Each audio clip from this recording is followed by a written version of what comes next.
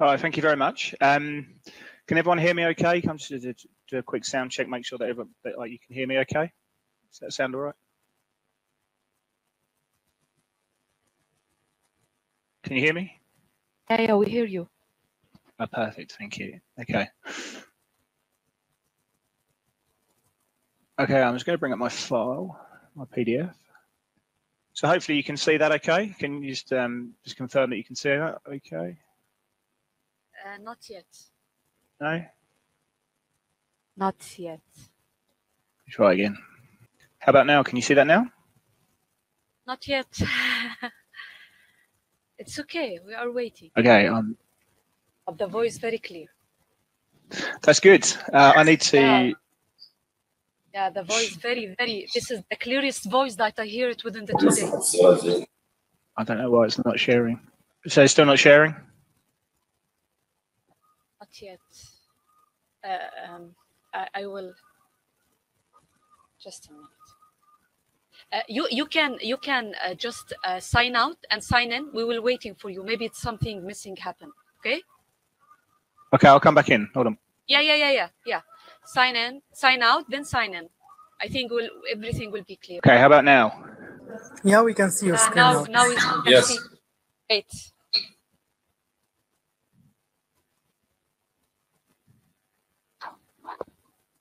Okay, now let's get back in. Sorry.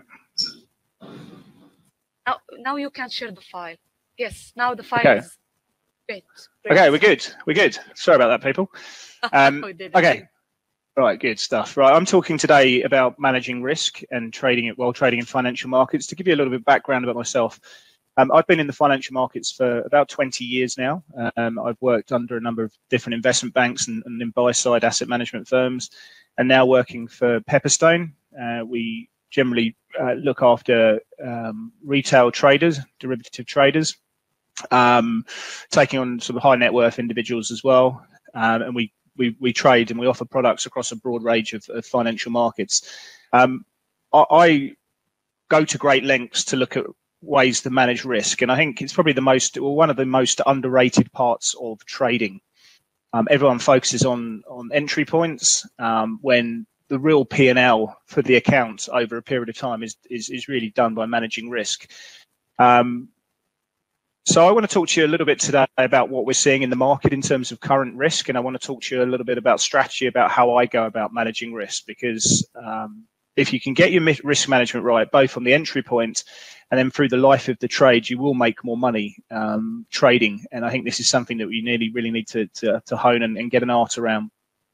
So first of all, what what do we consider to be risk? Well, clearly, um, losing money is the biggest risk. I mean, our job as traders is to grow the capital in our account. How we go about doing that is is obviously beholden to your own individual circumstances, your objectives, what you're trying to achieve, um, with and your strategies involved there as well. But ultimately, our biggest risk is we we don't want to lose money. Um, and when we lose money, we need to make sure we're losing a small amount of money. Money, and when we're when we're making money, we need to make um, a, a greater sum. And we'll talk about risk reward in a minute and the math that's involved there. Um, what do we consider to be risk? Well, I think we're seeing it now. I think sentiment. Markets are a sentiment game. Um, central banks and, to an extent government have built up uh, an ever-growing belief of sentiment. And as I go through my PDF here, um, I'm going to come back to this this slide. One of the things that we're talking to clients at the moment about is is is is this idea about extreme sentiment. Um, if you're an investor and you're seeing this current dynamic playing through at the moment, you know you, you you probably if you're an active manager you've got to be involved in this market. You know your job is to to to make money when the market's going up and, and outperform. But we have got to a point now where we're seeing incredible exuberance. And if i was an investor i'd be sitting there looking now at the risks that we're looking through across the pipeline what could cause a snap. Um, if i'm a trader then we trade the conditions long and short across multiple asset classes. We're magnetized towards movement. And for the type of movement that you're seeing in the market will determine your strategy and whether you actually want to be involved in the market. I brought a couple of indicators which which show what I'm looking at, and there's there's a whole heap. I'm writing an article to tomorrow for clients, and, and happily anyone in the room who, who wants to get a hold of the article, um, we can do. So the first thing I'm looking at here is is is just the extreme sentiment that we're seeing in the market. So if you can look at the top left, I've got the Goldman Sachs risk appetite appetite indicator. Now, this looks across, I think, 27 different types of market and, and gels it into one index. So you can see the very the various components on on on the right hand side. So we're looking at high yield credit relative to investment grade spreads when they get to a certain level. You know, that's that's saying that we're, we're seeing extreme um, exuberance and confidence in the market. Credit spreads at the moment are very, very tight. It's incredibly cheap for businesses to borrow money at the moment, and they're doing so in spades. Um, they've used this sort of equity, emerging market versus developed markets, cyclicals versus defensives, and, and you can see the subcomponents that go into this. But ultimately, we're now really two standard deviations above the long-term mean. Um, there's very few situations where um, risk appetite has become so compelling and so strong. Question is, is what's going to continue to push this higher? The amount of wriggle room the market has now to get it wrong is very, very low. If we we don't know what's going to cause a snapback, but we know that there's exuberance in the market, extreme exuberance in the market have a look at, um, you know, I can look at, um, you know, companies which are not, which don't generate any profits at the moment, and they're considerably outperforming um, the Nasdaq. They're considerably outperforming, um, you know, cyclicals, any kind of metric at the moment. That tells me the fundamentals are broken in the market, and people are just buying and because they're just they're, just unadulterated exuberance. Have a look on this right hand side. This is the total volume that we're seeing in OTC markets, over the counter markets, in terms of equity volume and total trading volume. Look at that spike up that we've been seeing here. When that tells you just the, the sheer level of exuberance that we're seeing. We can talk about the total call options that are going through. It's a similar metric. Have a look at the, the, the number of total margin debt um, as a percentage uh, change over the last month, nine months. It's never been this high. It is over 60% increase in margin debt. So people borrowing money to, to fund their, their equity purchases. If you have a look at fund flow data, which is so key for, for institutional traders, um, there's been a huge influx into into mutual funds and ETF funds, and I can I can I can talk about a whole heap of different uh, indicators that tell me there's so much froth in this market that if there's a miscommunication from the Fed, um, if there's a downturn in economics, if real bond yields start moving higher, um, this market's the, the elastic band has been pulled so far. Now, it feeds into my point of managing risk. When you see sentiment at such extremities that we're seeing at the moment, um, as an investor, you're you're looking for the signs of what could could cause that elastic band to break. Um, and I'm looking at things like fund flow. I'm looking at real real treasury yields, inflation adjusted treasury yields. I'm looking at the US dollar. If the US dollar starts moving higher, and the rate of change is always key. Yeah, this market. I'm talking about the S&P. I'm talking about global equities. I'm talking about um, risk currencies. I'm talking about commodities, which have obviously been booming. Um, we're looking for the signs of what could cause a, a material downdraft. It might not happen anytime soon, and of course, timing is key.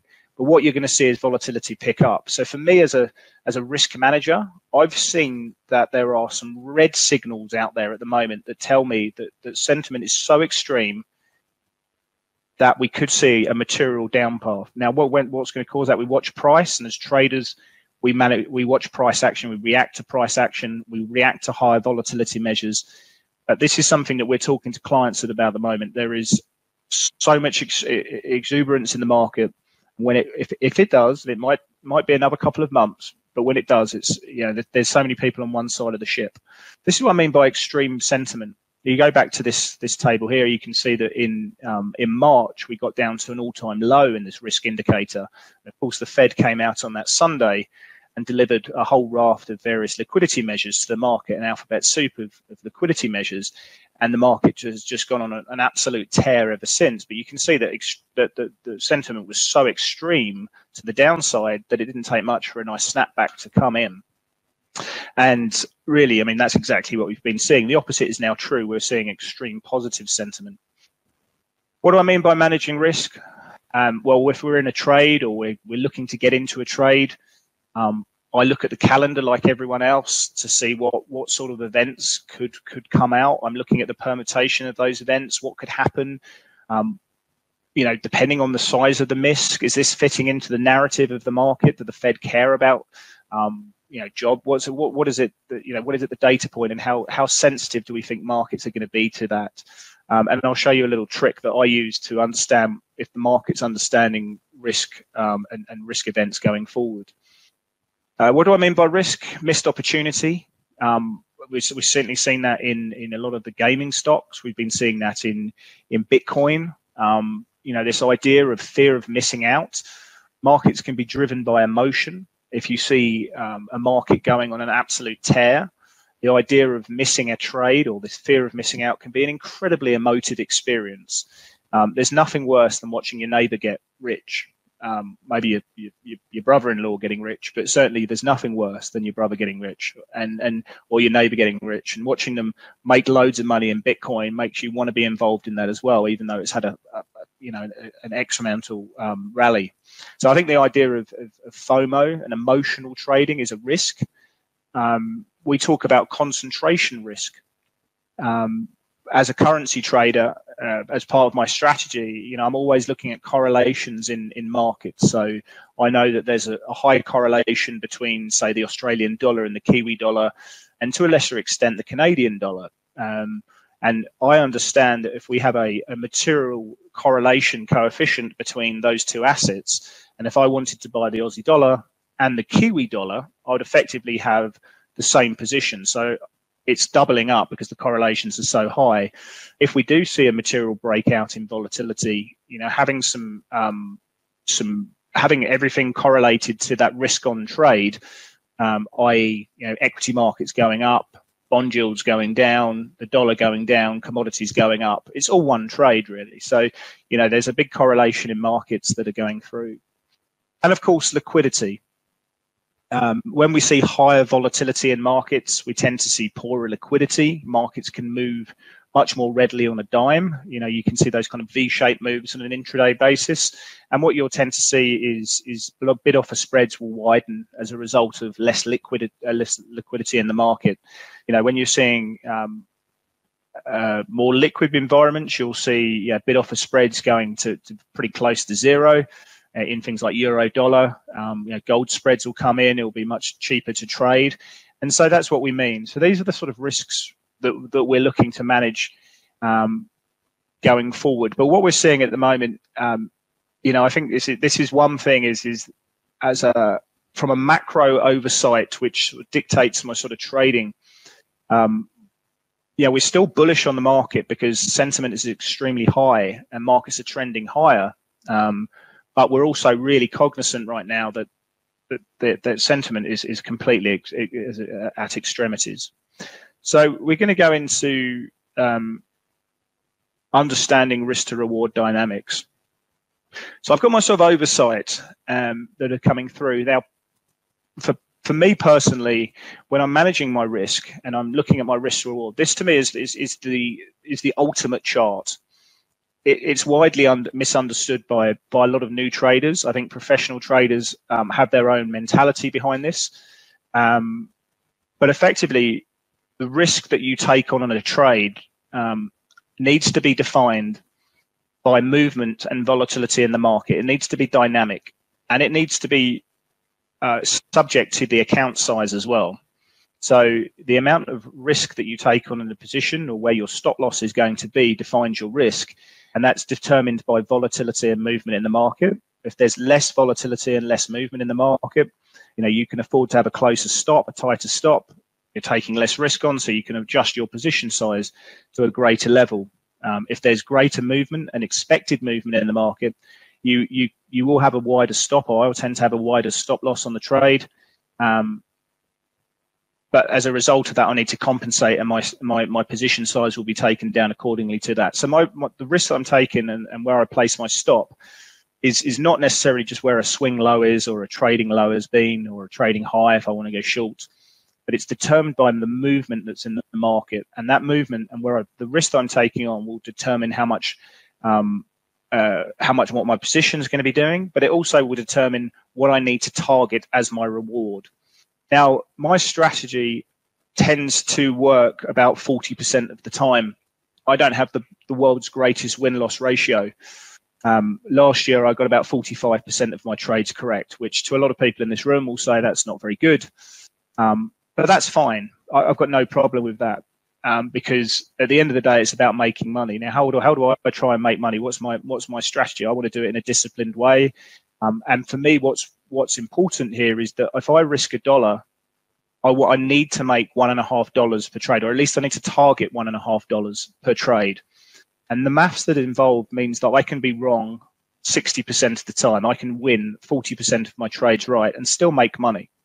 So for me, I know my strategy works uh, as a result of that. Of course, a lot of new traders will want to target, you know, I want to win 91% of the time or 90% of the time. That's fantastic. In an ideal world, I'd win every time and I'd make one and a half times R. Doesn't work like that for me. So for me, trying to make extract the most out of a trade is is is, is absolutely essential. So I'm going to risk a dollar, but I need to target one and a half dollars. Um, a wise man said that you know, you as a trader, you're managing risk, you're managing losing trades. The winning trades take care of themselves, and you know, I, I disagree with that personally because I find it very, very easy to take a loss. I'm very easy. I'm very comfortable with stopping a trade before it hits the stop because when the facts change, I change. Um, what I find very difficult is knowing that I have to target one and a half times my risk.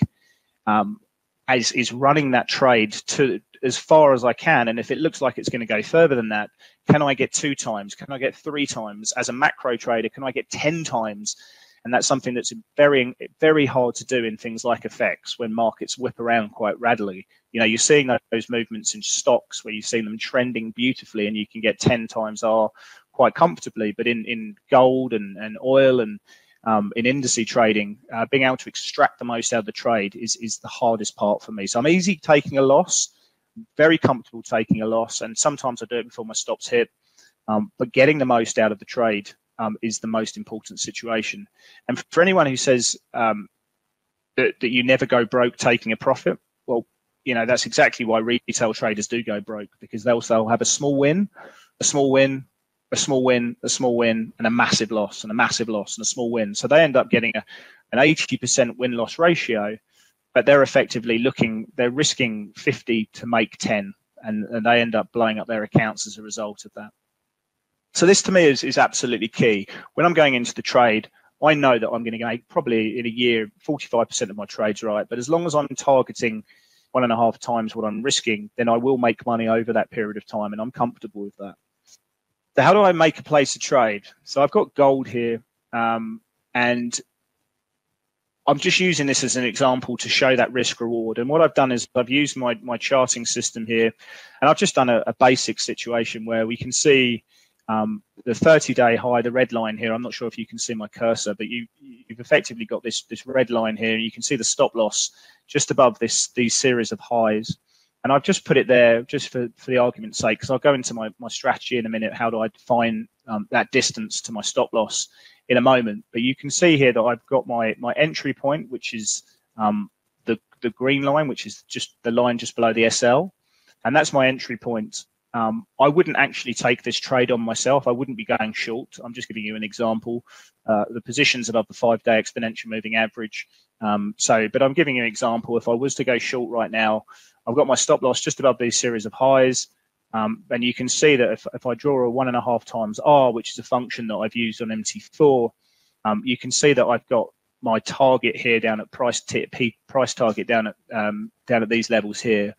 So really, I'm going into the trade. I've got my stop loss above these highs, above the 30-day highs, above this this this sort of ceiling of supply that's come in round um, a couple of weeks ago, um, and I'm looking to target um, down to here. So that's the basic setup, and that's the mentality that I've got to have, and I've got to look to try and extract the most out of that trade. Okay, so when I'm looking at the distance to my stop loss, um, I use volatility. Volatility is, and I've done many webinars around this, is is the epicenter of markets. Um, for people who haven't really studied volatility, it's you know there's two types of volatility: realized and implied volatility. Implied is what I tend to use more most retail traders and most new traders will use uh, historic or realized volatility, but volatility is the true asset class. It is the only asset class. And what I mean by that is if you're long the US dollar, you are short volatility. So you're long volatility. If you're long um, US treasuries, you're long volatility. If you're short equities, you're long volatility. If you're going short the US dollar, long commodities, if you're going long or the Aussie dollar or, or long equities, you're effectively short volatility um, and making a play that volatility is going to fall and that the world's going to be okay. So really, there's only there is only one type of uh, asset class, and that's long volatility and short volatility, and everything else sort of rounds around that.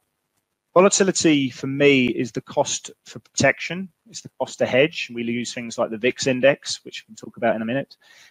Volatility will change the cost to trade, the spread in the market. I talked about that with liquidity. Volatility affects the time in the market.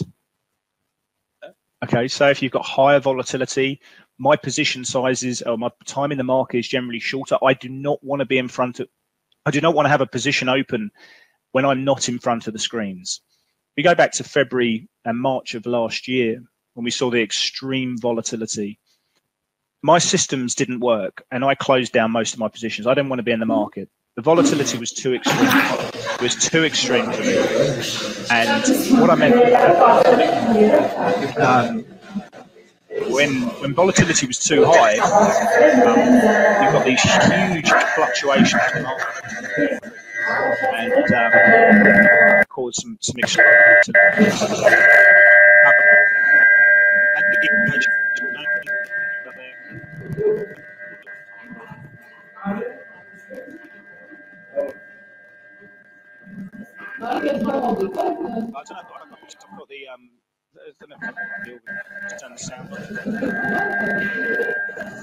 Turn the audience sound off.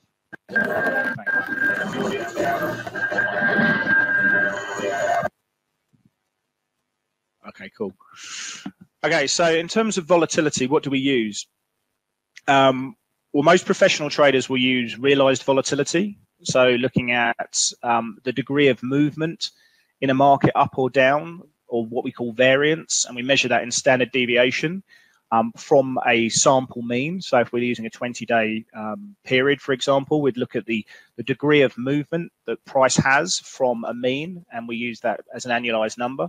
So a lot of professionals will use realized volatility, and that's an annualized number. And I'll talk a little bit more about that in a minute.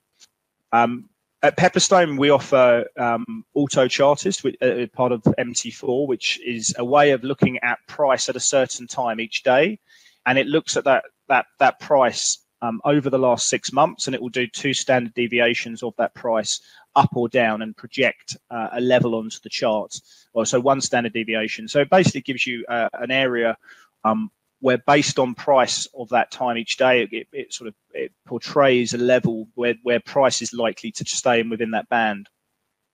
A lot of people will use Bollinger Bands. Um, and Bollinger Bands really use the technique here, if you can see on the left, the statistical probability in trading.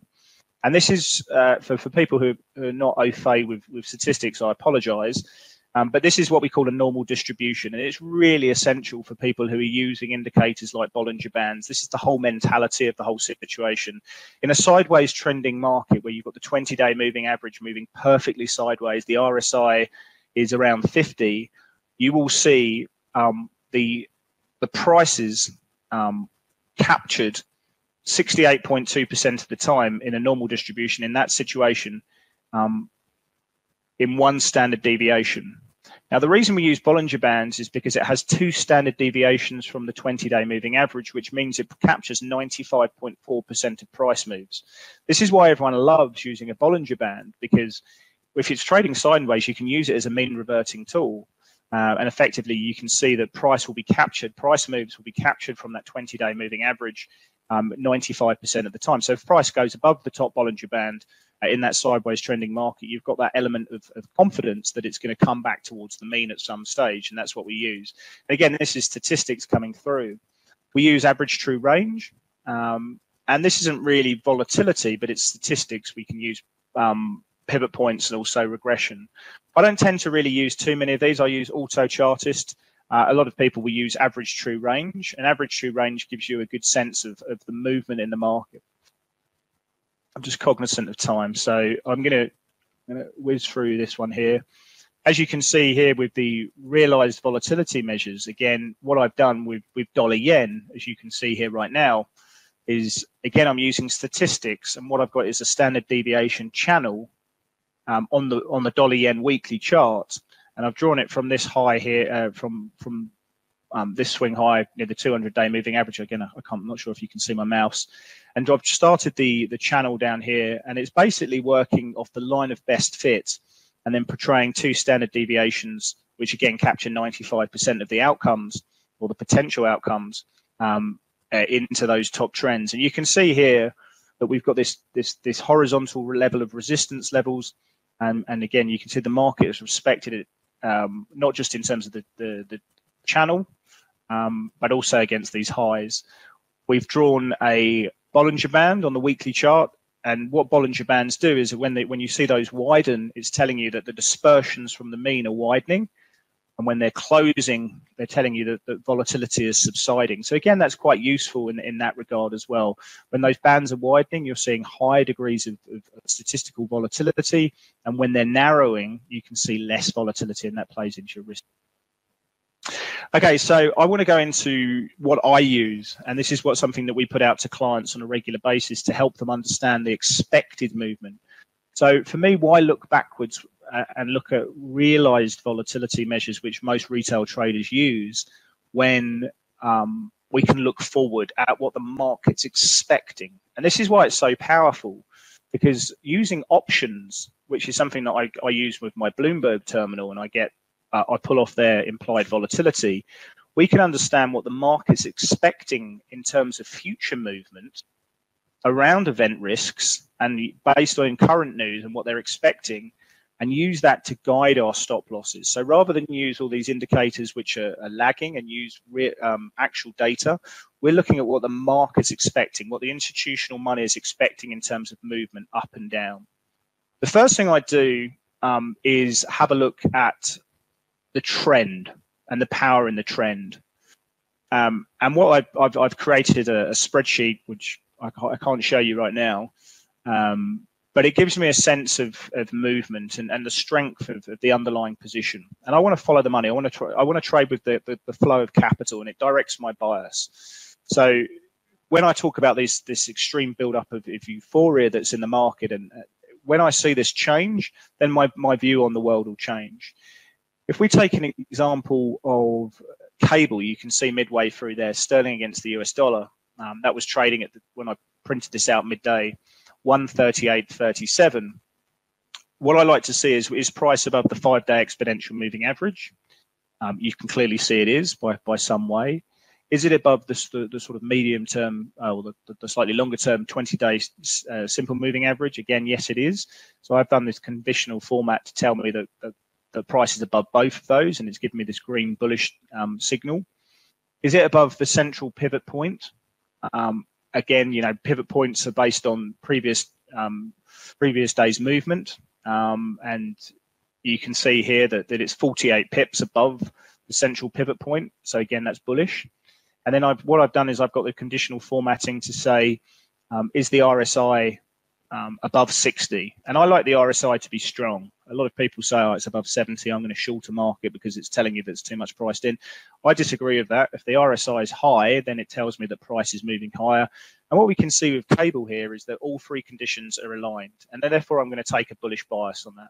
So immediately I come in the market, and these are some of the markets I look at, and I'm I'm dictated. I want to see a confluence of of, of agreement amongst those things. You can see here the, the, the Japanese market, the Nikkei, know, that's been got all three there. So again, I'm, magnetized the chart because it's telling me that the flow price is above the short-term moving average, the medium term it's above the um, the central pivot point, and the RSI is high, moving higher, but it's not at extremes. I love that. That's a great scenario for me to be in.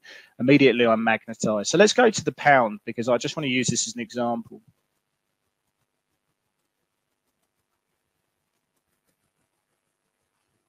First thing I'm going to do is I'm going to go to uh, a table I put out to clients, and you can sign up for my research. I'll show you afterwards, and you can get this as well. But I, what I use is a thing called implied volatility. Now, if we go to cable, we consider 6.7%. What that means is that's the options, that's an input that's set by the market based on options pricing for cable. And we're using overnight options. And I'm pulling this data out of Bloomberg, and you get this from options brokers and bits and pieces. But we're finding this, and, and that implied volatility, what that is, is an annualized number that's telling me the market says using overnight cable options that on an annualized basis, the pound is going to rally or fall 6.7%. Okay.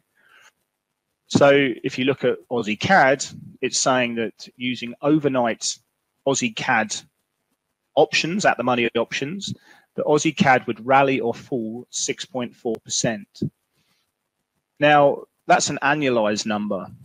We want to break that down into a daily number now that we know that volatility, this is where it starts getting a bit mathematical, and I apologize for this, but it's really powerful stuff, and I think people should know how to do it. And I can give you a lot of education around this. But what we're doing is what we're doing then is, is the volatility is the square root of time. Okay, so if we get that 6.7 number and we divide it by 15.9, there's um, 252 trading days in a year. If we get the square root of that, it's 15.9. So we're trying to get an annualized number and break it down into a daily number. And this is an everything's quoted in annualized numbers. So 6.7%, and if we divide it by 15.9%, uh, 15.9, we get a daily move up or down of 58 pips. So the market is using overnight options to trade, calls and puts, and it gets an implied volatility, which is a key component of the pricing of options. If we understand the market's looking ahead at all the data that's coming out, all the known event risks, and, and taking an agreement of where things have been, and saying that we think that cable is going to rally or fall with a 68.2% level of confidence, 58 points. Now, if I project that 58 points onto the current price there, I therefore get a range of 137.88 to 139.04. This is the same principle as a Bollinger Band, but I'm looking forward. I'm not looking backwards like a Bollinger Band, which is using prior prior prints. It's using the 20-day moving average of, of, a, of a price. This is actually looking forward in the market, looking at the risks and telling me that they see a move of 58 points. And I can use one standard deviation, which we know is 68.2% level of confidence that it's going to stay with that range. Or I can use two standard deviations, which is just 58 times two, and it will tell me the movement there. So I know on an intraday basis that the market is implying that there's a 95% chance that cable is going to stay within these levels here. If I have a look at gold, 17.8%, okay, if we divide that by 15.9 to get a daily, take that annualized number down to a daily implied number, we can see that it's going to move by $21 or 210 pips effectively. So we've now got a range what the market's expecting it to trade with 68.2% level of confidence and then 95% level of confidence. So how am I managing my risk? I'm using the market to tell me what they think and projecting that image on there. It's important then to understand to put that implied volatility into context. Again, going to that cable number, 6.7% doesn't really mean a lot um, if we don't understand if it's high or low relative to where we've been. If I look at this chart here again, which is I'm just charting that that number um, from Bloomberg uh, over the last three years, you can see this blue line here is the average. And then we've got one, two, three standard deviations above that and, and three standard deviations below. You can see we're actually below the average. So even though we're seeing cable moving higher and we're seeing it looking to break out, um, the actual implied volatility for the overnight is actually pretty low. So things I look at that and I can put that into context and I can say, well, you know, like I know that's 58 points, but in the, in the grand scheme of things, the market's not expecting fireworks. They're not expecting big moves to play out. I can also use weekly options. This is something I do every Sunday, and I put this out on our Telegram channel, and I put this out to clients. So rather than just look at it on the day, when I when I when I place a trade, I'm, I'm going to use overnight implied volatility. I'm going to use that that expected move to set my stop. But we can also use weekly options. So in the in the week, again, we're using that volatility, and we divide it by 7.1 this time because there's 50 weeks in a year. A square root of 50 is 7.1. So if I get that volatility there and I divide it in cable, which is using weekly options this time, we can see the market's implying 120 pips up or down over the week. So if I'm looking at my um, calendar and I'm saying, wow, you know, we've got the Bank of England meeting, we've got a Fed meeting, blah, blah, blah. What's the market expecting in terms of movement over the week? And they're saying 120 points. So it's forward looking. This is the only measure that you can get on the chart, which is forward looking. And we do this across different markets as well. And you can have a degree of confidence. We use this for mean reversion, but we also use it for stop setting. Okay, so let's use this in principle. Um, I don't know how well you can see this chart, so I apologize. Um, but I've got I've got the cable set up. I've got the pound set up, um, and we're using that level of, of implied movement to place a trade. And we can see that price, where we just got these red red arrows, um, has broken above this uh, resistance here, this blue um, sort of rectangle shape. So price has broken out. It's cleanly broken out. We've got this this ascending trend line as well, which price has broken out, and we've tested. Um, and we want to look to try and place a trade just on that this trend line again, because what we want to see is, is that come down to to test this trend line um, around 138.08, um, and then we want to see uh, a bounce off that level um, to confirm uh, that that is now support. And of course, now we're going to start attracting buyers. This is going to take a leg up. So I'm going to leave an order just on this trend line um, at 138.08. If I go back to um, my volatility measure, you can see in cable that the market was predicting 58 points, and that's with a 68.2% level of uh, confidence. That's one standard deviation. We can take it further and we can increase the confidence levels. So what I've done is I have increased the, the confidence levels and I've put my stop 86 points away. That 86 points um, takes us below the uh, prior breakout highs. It also is in line with the five-day average true range, which is 86 points. Um, and what I want to do as a result of that is now I've got this statistical level of confidence in my head that it's around about 75% level of confidence the market is not going to breach there. It's also below these resistance levels. It's below the trend line. It's below this, this breakout level. And so I think if, if price breaks through there, then I'm clearly wrong and it's potentially going to make a lower. I want out of the trade. I want nothing to do with it anymore. This is a this is a failed trade. I get them wrong. I want out. The next thing is is placing my um, is my risk reward. So I've I've set my stop loss, which is this lower black bar. Okay. And that stop loss is going to be 137.22, which is effectively 86 pips away. Using the Autochartist risk calculator, it looks at my, my account size. It says, well, if you're going to take 86 points, and it asks me how much risk do I want to take as a percentage of my equity. So in the case, usually I'd use around 2%.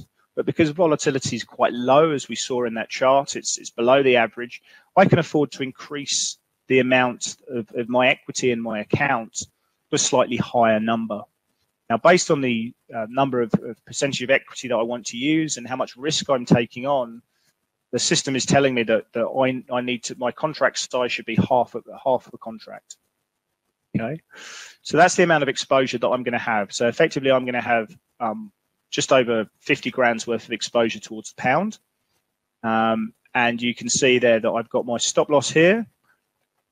I've put my risk reward. I need to be targeting one and a half times R. Um, so for, for the amount of risk that I'm taking, which is this amount here, I now need to be taking or trying to achieve one and a half times that. But this is my setup. This is what I do. I'm using the market to tell me at a minimum how far away my stop loss should be. I've got I've actually gone slightly further away from that. So I've taken my confidence level that price is not going to breach that to a higher level, which is actually in line with the average true range. I now know how much my stop loss is going to be. So I can therefore understand how much I need to target. And that means I can, if I try and actually, if it breaks out there and continues to move up, then then I'll try and hold that where I can. In fact, one of the things that we can try is the idea um, of adding to winning positions. And this is a mentality that I try and teach clients all the time. You know, rather than actually going in there looking to take profits too early, if something's working in your life, you do more of it. You know, you try and do as much as what works as possible. If you like running, you'll run every day until your knees go, but you'll run every day. If you you know, if you bite your tongue, you don't like doing it. You try not to do it ever again. Why can't we use that same concept in trading? Why can't we sit there and say, if something's working in a position, why don't I add to that trade? I've got my trade. Why can't I build into that? If it starts looking good, the cap, the flow of capital is working towards it. Why stop at one and a half times R? Try and get two times R. Try and get three times R. The probability of getting that's very, very low, but maybe that's something we need to do. Let's have a look at one more trade and then I'll go to some questions. This is the gold trade. If I go back to um, if I go back to gold, we can see that the market is telling me there that with a 17.8% annualized volatility based off daily options, we divide that by 15.9, the market is saying that we're expecting a move of, of $21 up or down, which gives us a range of, of, of 1863, 1822. Okay.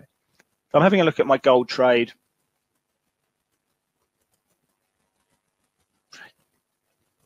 And you can see here that I've put a stop loss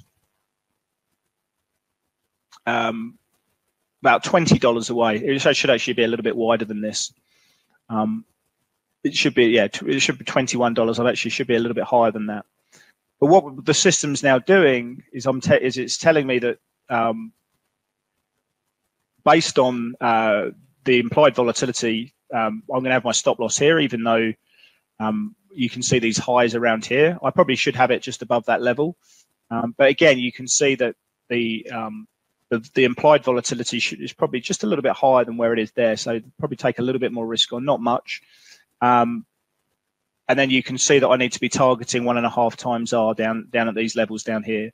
But again, um, the system has told me that based on this stop loss here, um, my position size, because of the amount of risk I'm taking, 21 or $21 or 206 uh, pips, um, based on that I'm going to risk 2% of my account on in terms of equity, I'm going to be doing a, a trade size of zero spot zero eight lots. Therefore, I'm I know my risk and it's given me the correct position size for the size of my account and for the amount of risk I'm taking on that. Um, so that's really the the setup today. Is is what I'm trying to teach is is two twofold. Is is understand the risk that's in the market. Have a system which tells you what to identify what are the triggers for, for greater volatility? Because volatility is, is, is the key risk in the market. If you have low volatility, it increases liquidity in the market. It means it has great impact on, on your position size, how much risk you're taking on. If you see higher volatility in markets, it will mean that you're going to see less liquidity in the markets. It means your time in front of the screen needs to be more adaptable. You need to be in front of it the whole time you know you you can't necessarily trade off daily charts or four hour charts you might have to take it down to 30 minute charts that might not suit your strategy so understand the volatility that's that's in the market um, and based on that the other thing is is that rather than using necessarily ATRs and Bollinger Bands and and and realized volatility and all these statistical motions that, that everyone's taught um, pivot points all, all these factors we can we can offer a structure where you can actually look forward at what the market's expecting, and we we combine this by pulling out this from from from our systems, um, and then we can actually put a mathematical level of confidence on that. So do have a look at the, the implied volatility because what we can do is we can actually portray um, expected movement, which we can use in our risk systems. So I'll leave it there, but the, the concept here is that we're understanding how much risk we're taking on in a position if we can understand how much risk we're taking on with a level of confidence, we can therefore understand the sort of rewards that we need to be targeting in a trade and how we can manage the emotion to try and extract that, which is key.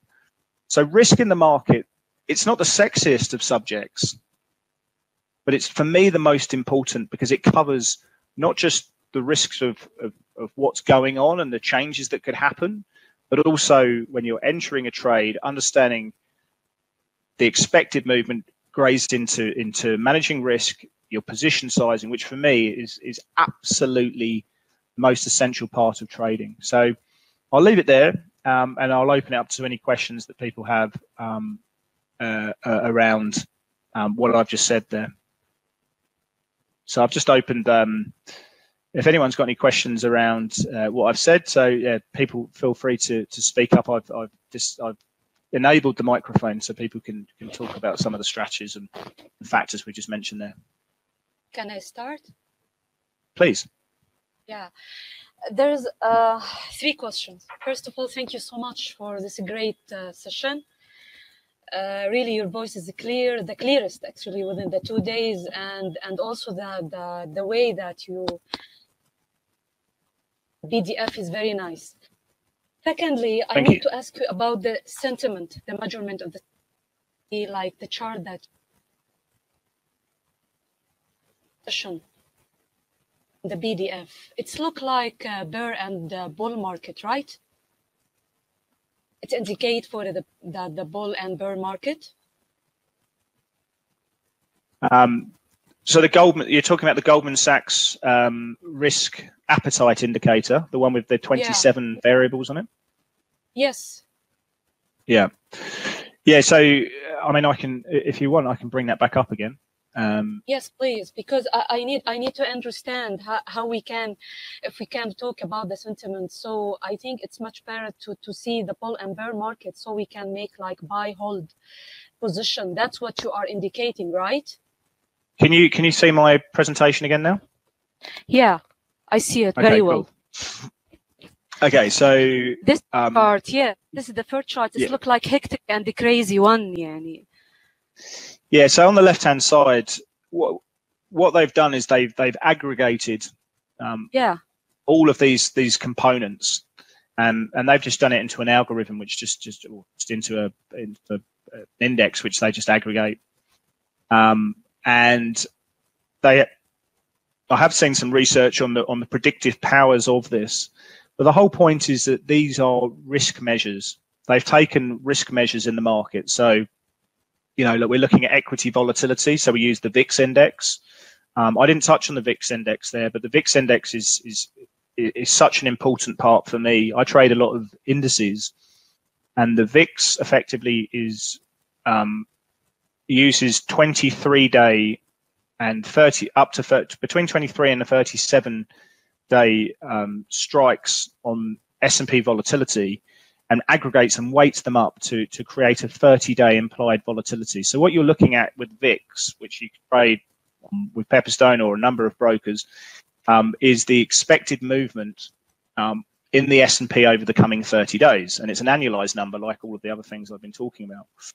Um, you could the VSTOXX, which is the the the the European stock market's implied volatility using their options. You can have skew. So the skew is looking at um, puts versus calls, and then you've got the put put call ratio. So the put call ratio looks at the absolute number of puts versus the absolute number of calls, whereas skew just looks at um, put volatility and minuses, or call volatility and minuses put volatility.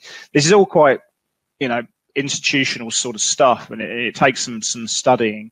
But basically, all of these are, are considered to be risk proxies. You know, if if market's feeling good, then you know small caps. If you go to equity, are going to outperform large caps. Um, you know, financials are going to outperform staples.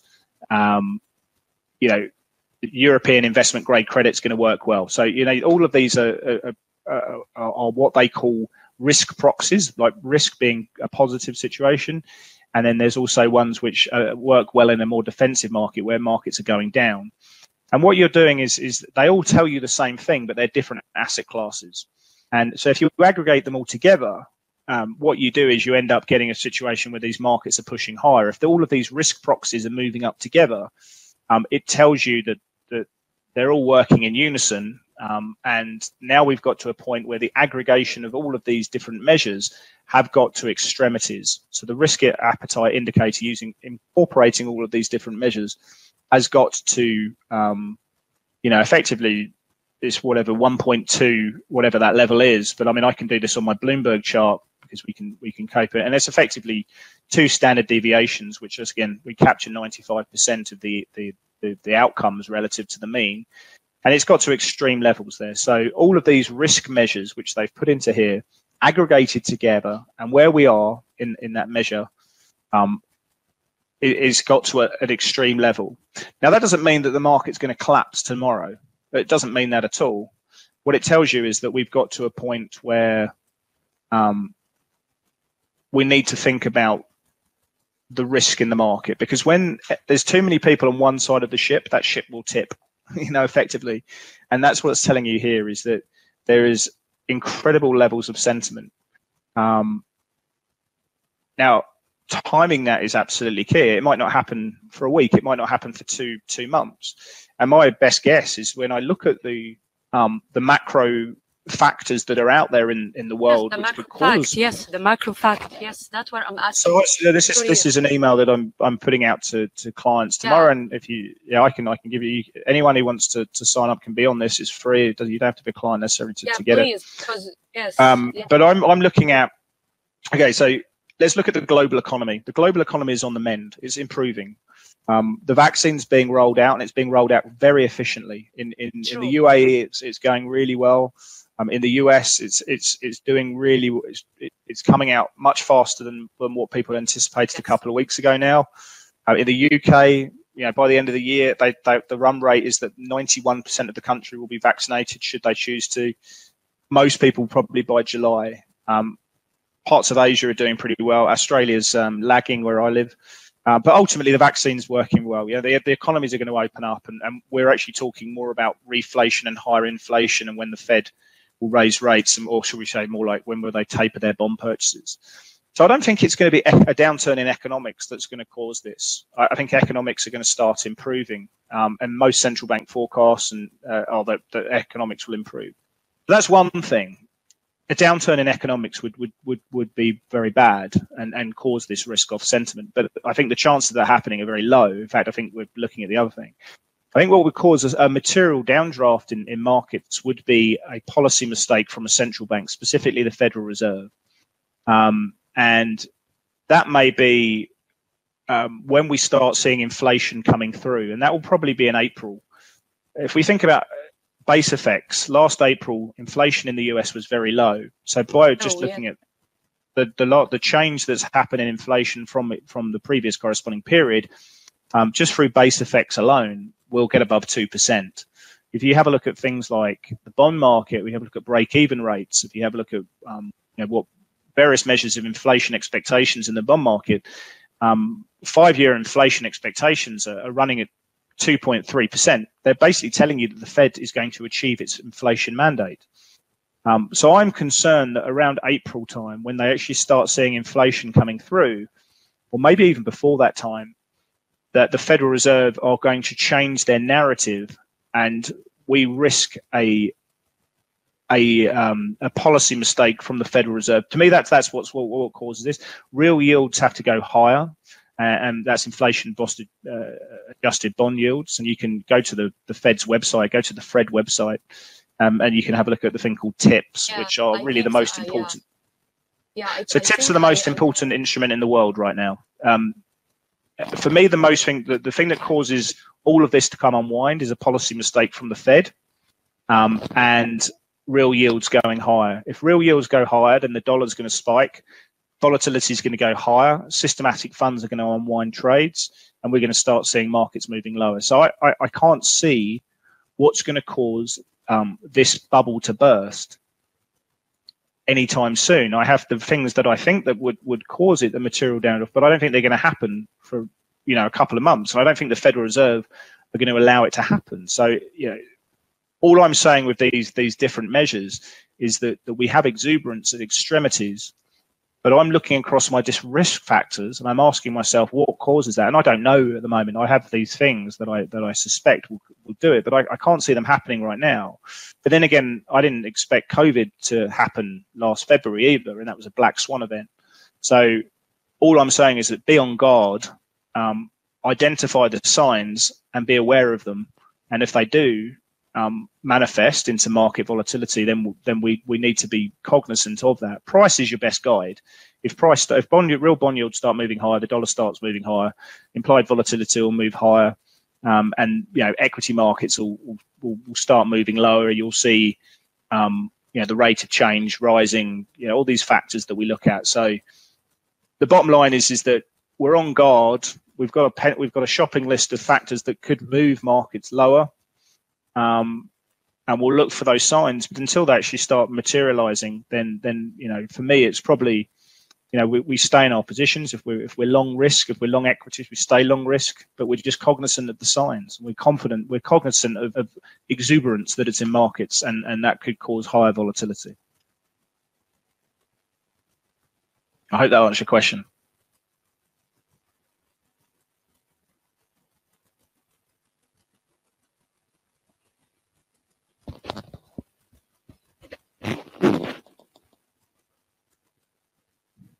Hello, can you hear me? Hello. I can hear. Can you hear me? I can. Yeah, great.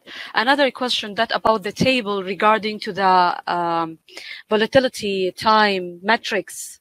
I, I just I want to get how how you you you suppose there is a normal distribution from the statistics that you uh, the chart you you just draw bill chart right, which is indicate the normal distribution of the probabilities, which is right. Exactly. Yeah. So yeah, um, it's a normal distribution, and then you you sorry, but I need to understand the table for the metric. let me uh, go back to it. Uh, yeah, yeah, yeah. I I didn't get it very well. Uh, just I need to understand that the probability for each time happen. That's what our indicator is. Yeah. So yeah, it does use a, a normal distribution. Um, Yeah, and right. the the the the, the um, But in reality, What- it's what- really normal distribution. yeah. So um, I don't think so, right? What do you yeah. think? Well, so what what we'll do um, with this, and again, you know, I've done this I've done this talk quite a few times, and and generally, what you'll find is that the the audience will be lost completely. so Yeah. you don't go into the you don't go into the, the in depth. So you you've got to gradually um, coax people into this it's a- idea. it's a proxy, a proxy measurement, right? All of these. Well, no. So, so what we do, what, what we do as Yeah. well as part of the um, information that we send out is we send out the skew. So we send out what we call risk reversals. Um, so if you've got a strongly trending market, clearly a normal distribution is not real, right? Because you know the the idea is if it's going up, if cable's going up, then um, the probabilities in my mind of prices moving higher obviously skewed to one side, the right the right side of the tail, you know, the positive side. So for me, you know, a normal distribution works very well in a sideways trending market with low volatility, which is why you know in, if we use mean reverting tools in Bollinger Bands um, in a sideways trending market. I, I use that all the time. Um, you know, you find something that's got very low volatility. Dollar yen's usually a case, and then you see the RSI around 50 and you know, Bollinger Bands tight.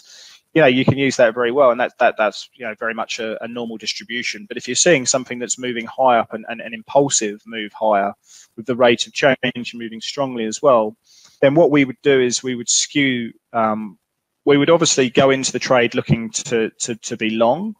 Um, we would use this to understand our, our risk to the short side, but we also look at risk reversals. So we're looking at um, call volatility minus put volatility and see how the option market's skewed in that as well.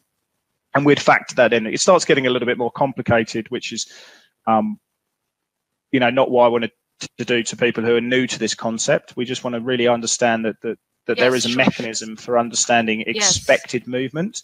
Um, and we can use a normal distribution in most of the cases, but in a strongly trending market, of course, the new distributions or the new price moves will probably be there's a higher degree of outcome that there'll probably be positive ones, which is on the right hand side of the um, of the bell curve. So yeah, that that that becomes slightly skewed towards the right hand uh, tail. So yeah, your question's a brilliant question. Um, but then we start getting into the nuts and bolts of this, and something we put out to people is is when I'm looking at cable, for example, and I use that as an example. Um, you know, you want to be on. uh, For for me, as someone who trades off four-hour charts and daily charts, and my time frame in the market is a lot longer than people who are scalping, for example. So I might hold a trade for an hour. I might you know, hold my trade for a few or four days. You know, who knows?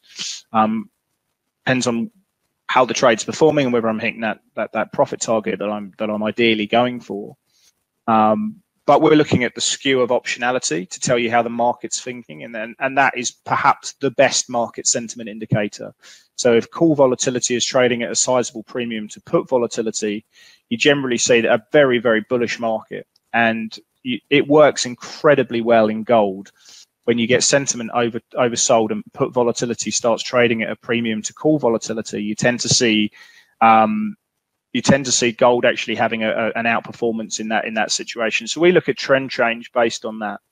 But yeah, I mean it's a brilliant question. In trending markets, the normal distribution doesn't work as well. We need to factor that in um, and, and work out here. But but ultimately, um, no, in no, most cases, it's it's, it's, it's good, Yani. The way that it's really explaining the way that the movement, all all of us know that risk management is a proxy management. Or even though the that we can uh, feel the risk, but we cannot just make it in numbers. So that's why we yep. do some some approximate but I need really to thank you so much for your yeah, time. I mean, look, some people brilliant. some people will use um, you know value at risk models or CVAR and, and understand the potential loss. I mean, I, I don't I don't work like that myself, but um, if you're understanding movement, and yeah, you do need to adjust it. But for me, a lot of what we're seeing here in terms of implied move is based on what's happened and realized vol. So probably about 70% of the move is, is based on what's happened.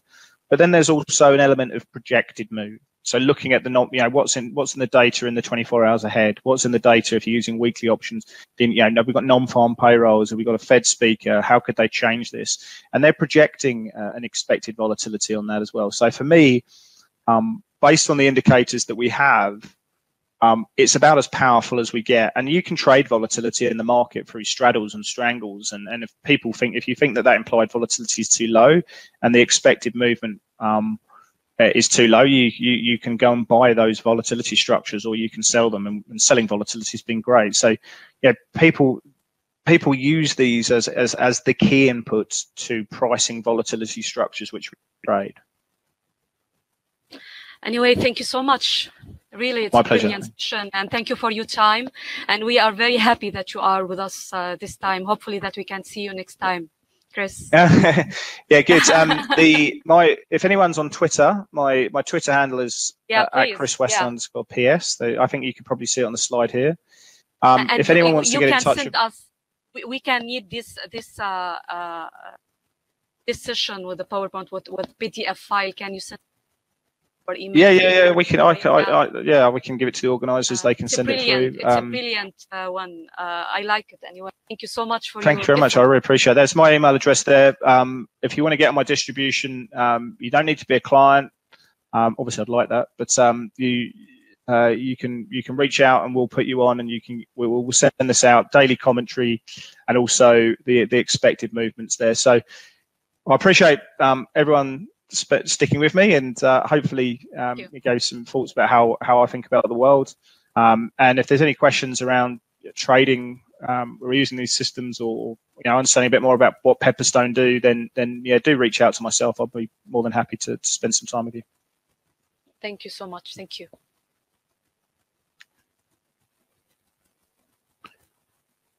Cool.